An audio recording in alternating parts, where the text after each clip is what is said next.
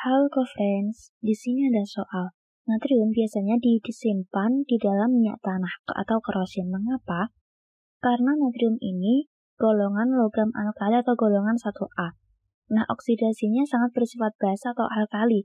Semua logam alkali memiliki elektron valensi yang sama dengan satu, mudah lepas sehingga mudah membentuk ion positif.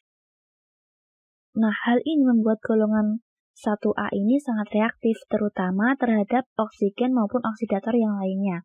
Nah, seperti halnya kita memasukkan sodium ke dalam air akan timbul reaksi yang sangat cepat seperti ledakan. Dari hal tersebut kita tahu bahwa natrium bertindak sebagai reduktor.